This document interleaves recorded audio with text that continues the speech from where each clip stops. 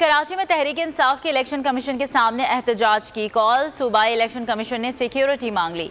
मजीद क्या तफसीत हैं? बताएँगे हमारे नुमाइंदे सलमान सलीम। सलमान, बताइएगा क्या सूरत हाल है? जी देखिए, बिल्कुल इस वक्त हम इलेक्शन कमीशन के बाहर मौजूद हैं और आज पाकिस्तान तहरीक इंसाफ की जानब से एहतजाज की जो है वो कॉल दी गई है।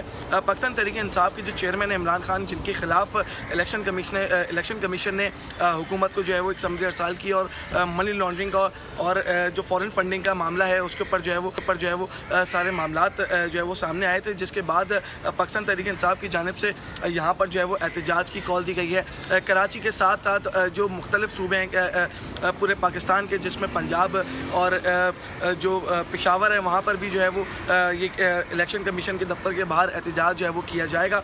और आज शाम चार बजे का वक्त दिया गया है पाकिस्तान तहरीक इंसाफ की जानब से। आवाम से जो है वो उनकी ये अपील है कि आवाम आए और यहाँ पर एहतजाज में जो है वो शरीक हो।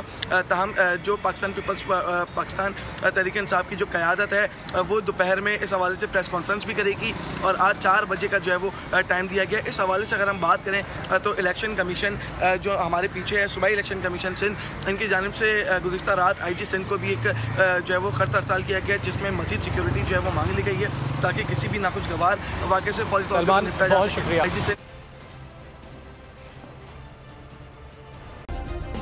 सब्सक्राइब करें और बेल दबाएँ ताकि कोई खबर रह न जाए।